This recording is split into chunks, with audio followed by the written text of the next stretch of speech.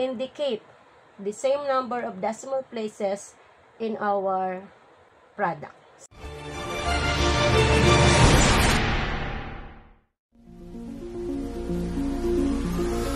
Good day, learners. Today, I'm going to discuss one of the learning competencies for grade 7 mathematics. That is, solve money problems involving percentages. Let me start with a discount problem. Today, I prepared three problems. Let's have the first one. There was a sale at Toy Kingdom. A toy car which cost 3,500 pesos was reduced by 25%. Calculate what the customer paid. Okay, to answer this problem, of course, first thing we need to do is to identify the given. Okay, based on the problem, we have 3,500 pesos. This is the original price. Original price of the toy car. And we have 25%, which is the rate of discount.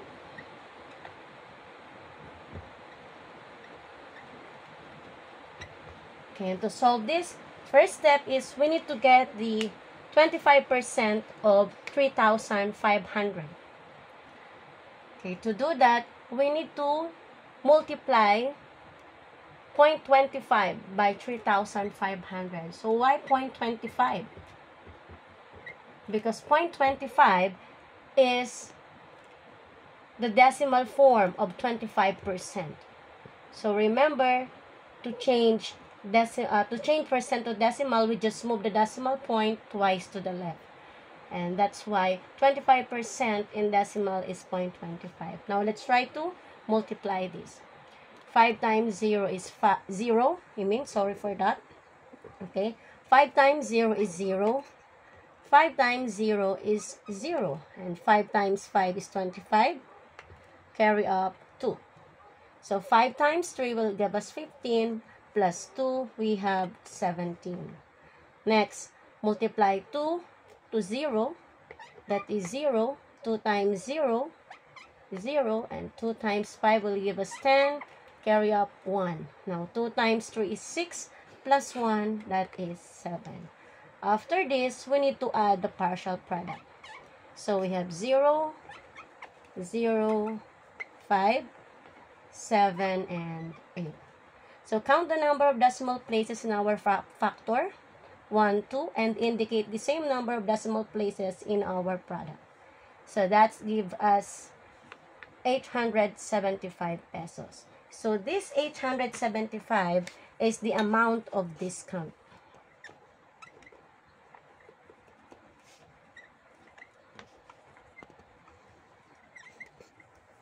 And to determine the amount paid by the customer, all we have to do is to subtract the amount of discount from the original price of the item. So that is 3,500 minus 875. So to subtract this, so 0 minus 5 is cannot be, so we need to borrow 1 from 0 but this is 0 so we need to borrow 1 from 5 here this 5 will become 4 and this 0 will become 10 now we can deduct we can borrow 1 from this. So this 10 will become 9 and this will become 10 now let's subtract. 10 minus 5 will give us 5 9 minus 7 is 2 4 minus 8 again is cannot be so we need to borrow 1 from 3 so this 3 will become 2 and this 4 will become 14. Now 14 minus 8 will give us 6. Then finally bring down 2. So the answer is 206. 2,000, I mean 2,625. So this is the amount paid by the customer. Meaning the price of the toy car after the discount So is the amount paid by the customer.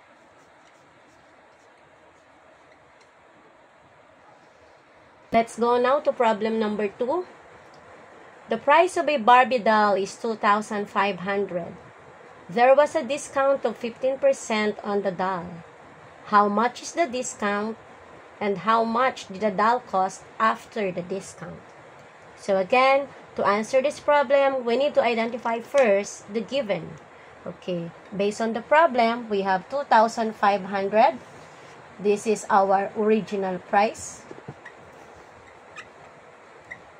The original price of the Barbie doll. And of course, the 15% here is the rate of discount.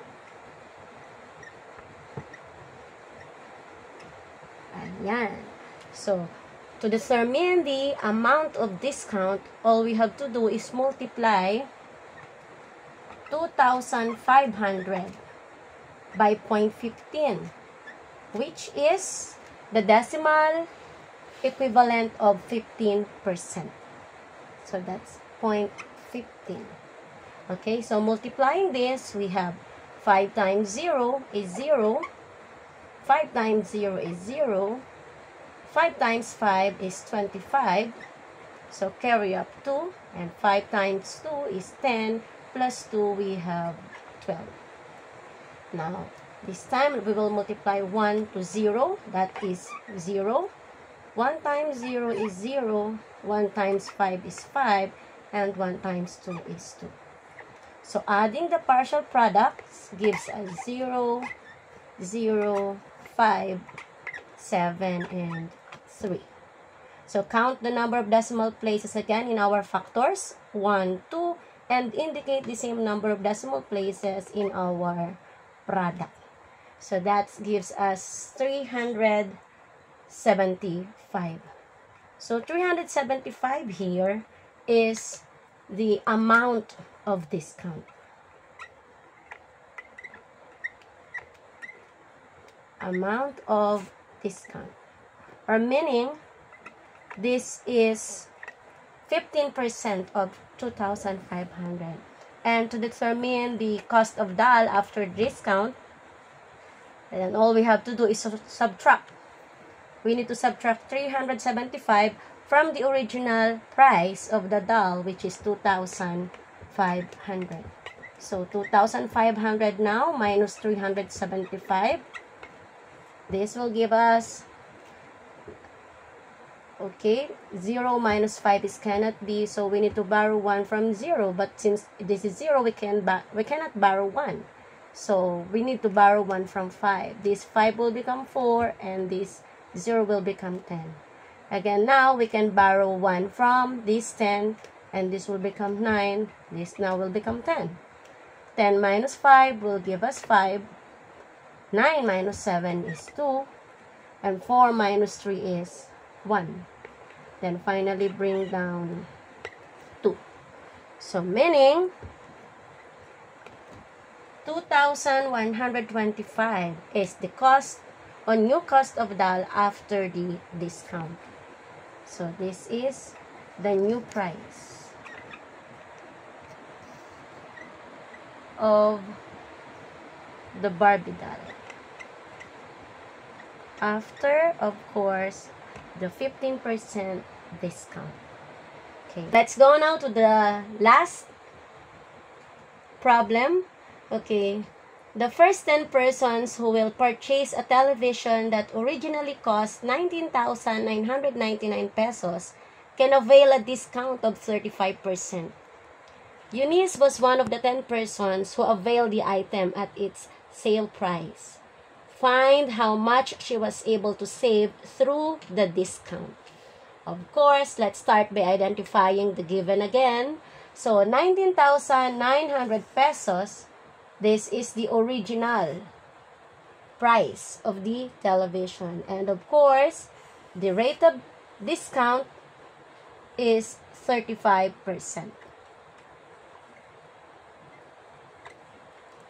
Okay, to solve this, let's find what is 35% of 19,900. Of course, 35% in decimal is 0.35.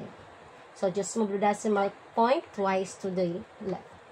Okay, and then now let's multiply 19,999 by 0.35. So we have 5 times 9, that's 45. Carry up 4. 5 times 9 is 45 plus 4, that will give us 49. So carry up 4. 5 times 9 is 45 plus 4, 49 again, will carry up 4. 5 times 9 is 45 plus 4 is 49. So carry 4 again. 5 times 1 is 5 plus 4, we have 9. So this time, let's multiply 3. 3 by 9. So 3 times 9 is 27. Carry up 2. 3 times 9 is 27 plus 2, 29. Carry 2. So 3 times 9 again is 27 plus 2 is 29. So carry up 2 here. 3 times 9 is 27 plus 2, 29. Carry 2. 3 times 1 is 3 plus 2, you have 5. So let's add the partial product. We have 5 then 9 plus 7 is 16. Carry 1. 9 plus 9 is 18 plus 1. We have 19. Carry 1. So this is 19 also. Carry 1. Another 19. Carry 1. So 6. And then afterwards, indicate the same number of decimal places in our product. Same with the number of decimal places in our factors. So the answer is 6,999 pesos and 65 centavos. This is the amount of discount. That's 35% of 19,999, which is also the amount Eunice was able to save from the discount or through the discount. Okay, this, this is the amount saved.